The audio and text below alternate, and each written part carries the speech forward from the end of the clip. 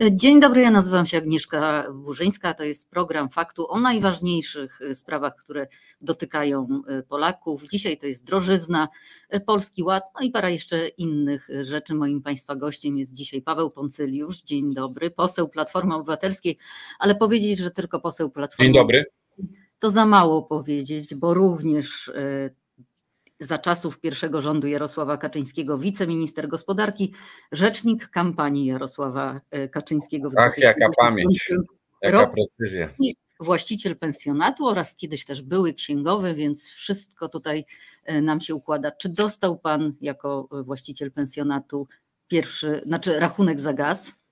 Tak, dostaliśmy e, rachunki za gaz. Ja to nawet mogę zobrazować. Poprosiłem moją księgowość, żeby E, żeby e, wyciągnąć również z zeszłego roku. No więc mogę powiedzieć tak, w zeszłym roku za gaz płaciłem 16 groszy za kilowatogodzinę, w tym roku już w listopadzie płaciłem 46 groszy za kilowatogodzinę, a następny rachunek, o czym już mnie Pegnik poinformował, e, będzie liczony po 97 groszy za kilowatogodzinę, czyli z 16 w 2020 roku do 97 w 2022 drugim. Także no podwyżka bardzo, bardzo poważna. To oznacza, że takim sezonie zimowym za dwa miesiące no płaciłem. chciałam, chciałam, o to zapytać, jak to się ma w takich, w takich Płaciłem, kwotach? no to 7, płaciłem około 3,5 tysiąca za dwa miesiące. No spodziewam się, że to będzie około 7 tysięcy. No może coś tam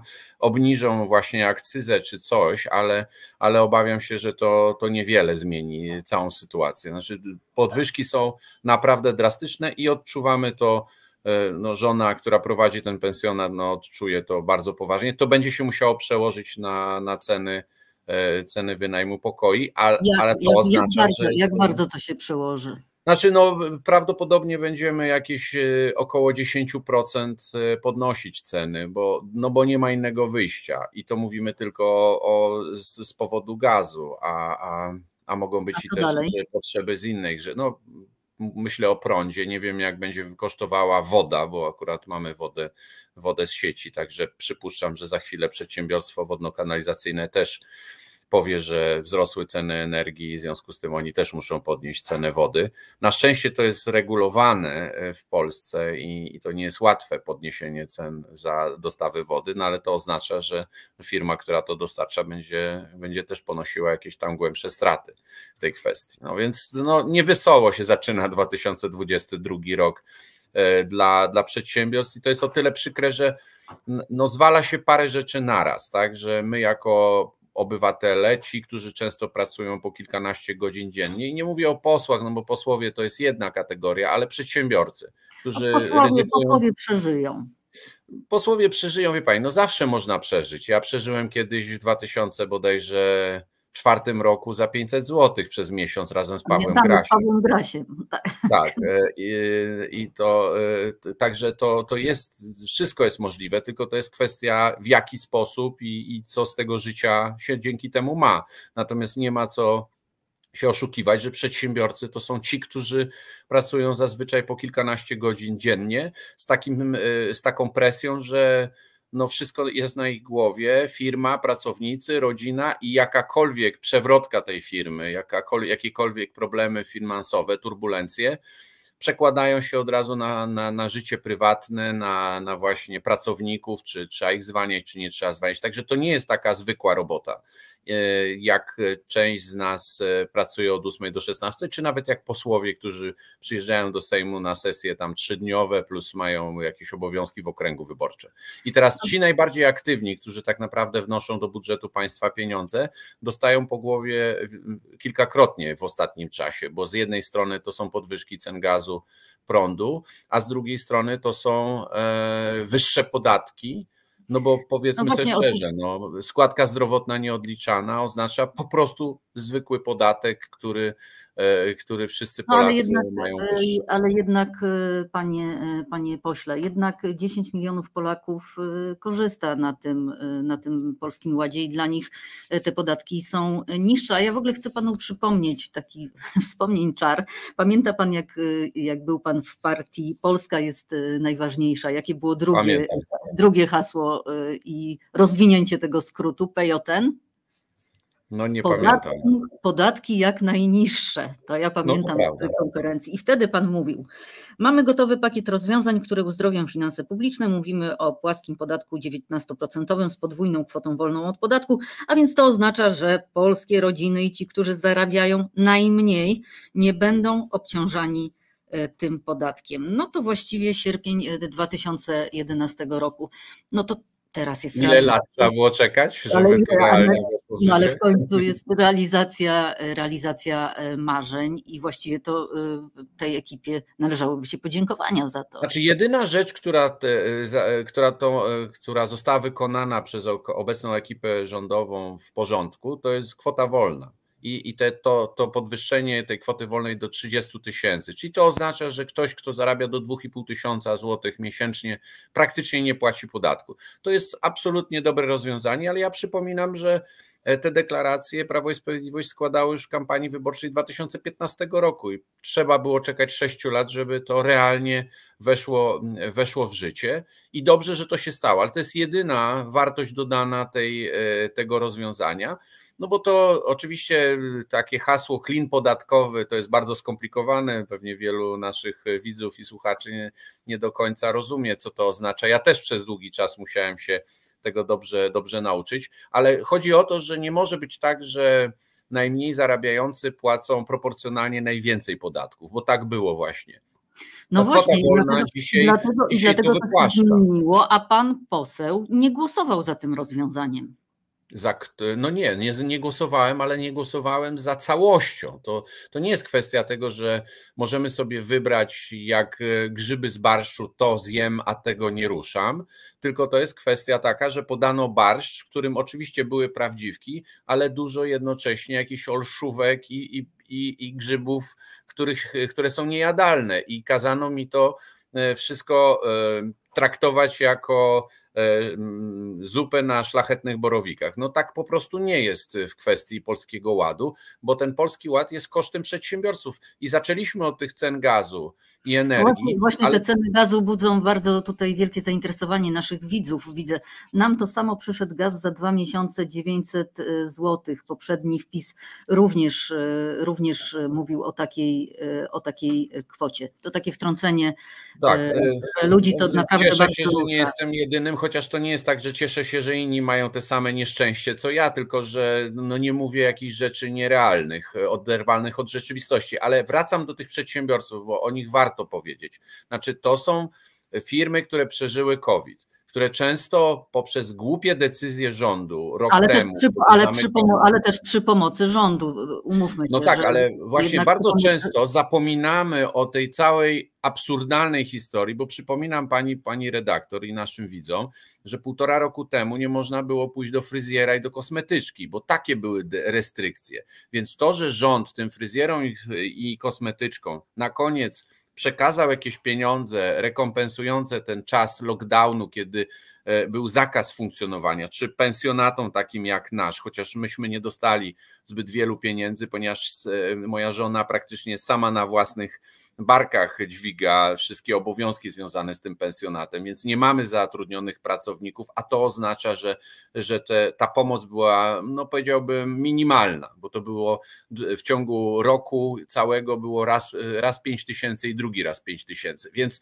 ci przedsiębiorcy, którzy przetrwali, często sprzedawali jakieś swoje inne nieruchomości, rezygnowali z samochodów i tak dalej, żeby ratować firmy, e, od przeżyli, czyli są takimi aktywnymi płatnikami podatków. Od pana Morawieckiego dostają prezent, że od 1 stycznia 2022 dostają wyższe podatki, tak? dostają wyższe ceny gazu, z którego się Pegnik tak naprawdę ani rządzący nie mogą do końca wy, wy, wytłumaczyć. Wczoraj zadawaliśmy pytania, skąd ta cena gazu, którą podają pisma PGNiG dla, dla indywidualnych odbiorców, dla wszystkich odbiorców. Nie byli w stanie powiedzieć, jak to wygląda. Oni się cały czas tylko odnoszą do cen giełdowych, ale cena giełdowa nie oznacza, że za tyle PGNiG kupuje ten gaz. Naszym zdaniem ten gaz kupowany w PGNiG, przez PGNiG, czy pozyskiwany przez PGNiG jest co najmniej połowę tańszy, a więc to no my oznacza... Będziemy, my będziemy też o to, o to dopytywać. Dzisiaj tego nie rozstrzygniemy tutaj na... Yy, ja tylko pani na, mówię, że rząd nie chce odpowiedzieć na konkretnie stawiane pytania w tej kwestii. Wczoraj w debatach sejmowych, co najmniej dwóch, jeżeli nie trzech, łącznie z komisją, E, nikt nie chciał konkretnie odpowiedzieć, jaka jest cena, za którą realnie PGNiG kupuje ten gaz. Tylko wszyscy zasłaniają się ceną giełdową i to oznacza, że tutaj e, rząd w kwestii drożyzny, podwyżek cen, trochę zachowuje się jak taki drewniak, który przychodzi na kurs tańca i gubi takt i depcze partnerce po nogach. To znaczy jest spóźniony o te pół kroku i zaczyna deptać po nogach i tak samo jest ze spóźnieniem rządu, jeśli chodzi o reagowanie na drożyznę, na wzrost cen, e, e, cen choćby gazu, bo można było zmieniać formułę właśnie naliczania taryf dla, dla odbiorców końcowych, ale to wymagało wystąpienia do Komisji Europejskiej. W temacie VAT-u, w temacie akcyzy rząd wystąpił o takie, o takie zwolnienia. W temacie gazu nic się nie, nie stało w tej kwestii. Czyli co, czyli y, rząd według Pana y, zaspał? Możliwe, że on właśnie nie ma poczucia rytmu i, i gubi ten takt, tak? Y, I, I, że ta muzyka no, mu nie przeszkadza w tańcu, tylko partnerka z tego powodu cierpi, bo ma podeptane buty i palce.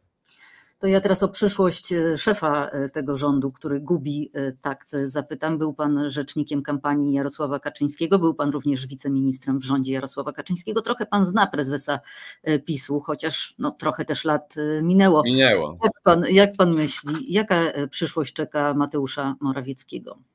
Znaczy, przetrwa, myślę, że... ten, przetrwa ten kryzys? Mm, ten może tak, ale będzie jeszcze bardziej osłabiony, bo widać jasno, że ma oponentów w rządzie. Ja bym do tych oponentów zaliczył e, Mariusza Błaszczaka i Jacka Sasina i myślę, że to są, e, e, to są dzisiaj politycy, którzy czyhają na każdy, każdy problem wokół Mateusza Morawieckiego i myślę, że skrzętnie to podnoszą w rozmowach z Jarosławem Kaczyńskim, suflując, że to już czas, żeby Mateusza Morawieckiego pożegnać jako premiera. Natomiast myślę, że ta skąpa większość w Sejmie dla poparcia jakichkolwiek ustaw, bo one często przechodzą e, siłą 231-232 głosów. Ale e, przechodzą. Tak, ale to oznacza, że wymiana premiera może oznaczać dla Jarosława Kaczyńskiego bardzo dużą cenę, którą będzie musiał zapłacić środowisku Zbigniewa Ziobry, może będzie musiał jeszcze z jakimiś grupkami się, jakichś przysłowiowych antyszczepionkowców dogadywać przy tej okazji, więc to jest też ryzykowna operacja, która na której wcale obóz Zjednoczonej Prawicy dobrze nie wyjdzie. Chociaż oczywiście personalnie Sasin czy, czy Błaszczak no, dopną swego i będą mieli poczucie, że kolejny premier będzie zbliżony do ich wrażliwości i będą mieli na niego większy wpływ niż dzisiaj mają na Mateusza Morawieckiego jako środowisko. Pan mówi o Mariuszu Błaszczaku i o Jacku Sasinie, a wszyscy mówią, że głównym wrogiem Mateusza Morawieckiego jest Zbigniew Ziobro i to on e, kopie dołki. Zresztą widać, że minister sprawiedliwości też nie oszczędza e, żadnej okazji, żeby zaatakować premiera albo chociaż gdzieś mu wbić jakąś szpilę. Tylko Zbigniew Ziobro nie ma siły kreowania nowego premiera dlatego że nie jest z wewnątrz Prawa i Sprawiedliwości. On może, on tylko może rozbujać łódkę, e, z której, z której w końcu wypadnie Mateusz Morawiecki, ale e, śmietankę z tego, z tego kryzysu będą zbierać politycy z wewnątrz Prawa i Sprawiedliwości, czyli z takiego najbliższego kręgu e, Jarosława Kaczyńskiego, czyli między innymi właśnie Mariusz Błaszczak czy, czy Jacek Sasin. Ale premier przetrwa i do, Dziś nie tak. Dziś nie tak, ale to nie jest powiedziane, że w ciągu paru miesięcy sytuacja się zmieni, bo dla, dlatego, że moim zdaniem Mateusz Morawiecki nie, spełni, nie wypełnił zadania, które przed nim było stos, e, e, stawiane przez dłuższy czas i dzisiaj król jest nagi. To widać, że, że już się nic nie da w tej kwestii zrobić. Myślę tu o relacjach z Komisją Europejską i o kwestii funduszy europejskich. Widać jasno, że Komisja Europejska blokuje to wszystko do momentu, ale kiedy nie cofnięte zostaną rzecznik, reformy. Rzecznik rządu, rzecznik rządu mówi, obejdziemy się bez tych pieniędzy, damy radę. To tak się, znaczy wie pani, no gdybym był rzecznikiem rządu, to pewnie też bym nie miał nic innego do powiedzenia niż coś takiego, ale jak jest, to wiedzą samorządy, to wiedzą przedsiębiorcy, to wiedzą poszczególne branże. Ja się zajmuję energetyką w Sejmie, więc e, transformacja energetyczna w kierunku odnawialnych źródeł energii praktycznie stanęła. I bez pieniędzy z funduszu odbudowy, z funduszu sprawiedliwej transformacji, nie da się e, diametralnie zmienić e, struktury produkcji energii elektrycznej z tej właśnie brudnej energii opartej na węglu na czystą energię opartą na na odnawialnych źródłach energii. Więc to, to jest, y, możemy sobie tam zaklinać rzeczywistość, że a co tam nas te pieniądze obchodzą, ale jakimś dziwnym trafem rząd przez wiele miesięcy pompował całą kampanię, jaki to wielki sukces, jakie to wielkie pieniądze, jakie dobro spłynie do Polski. E, i to wszystko zasługa Mateusza Morawieckiego. No i nagle okazuje się, że to było co? Że to była tylko taka patiomkinowska pokazucha, że to, to tylko była taka chwilowa propaganda, a już dzisiaj te pieniądze nie mają znaczenia. No to, no to trzeba by panu rzecznikowi zadać pytanie, po co te miliony na billboardy po całym kraju, ulotki, różnego rodzaju kampanie reklamowe, jakie to wielki sukces, jakie to wielkie pieniądze, a teraz już nie, już nie ma tych pieniędzy i nie są one potrzebne, no to, to co? To może ta kampania nie była potrzebna i są to nieprawnie wydane pieniądze e, rządowe, publiczne. I o to też będziemy pytać, będziemy sprawdzać w reklamowaniu y, rząd, jak widać to po mailach y, Michała Dworczyka, które wyciekają z jego skrzynki, jest y, dobry, sprawny i rzeczywiście lubi wydawać na to pieniądze. My będziemy o to pytać. Niestety już musimy kończyć. Było tutaj sporo komentarzy, których nie wymieniłam w sprawie jednak podwyżek cen gazu. Najbardziej poruszyła ta kwestia naszych widzów. No i bardzo smutne są e, te komentarze. A propos Polskiego Ładu, również smutne dla, e, dla rządzących. Bardzo dziękuję. Moim dziękuję bardzo. gościem był dzisiaj Paweł Poncyliusz. Do zobaczenia w poniedziałek. Dobrego dnia.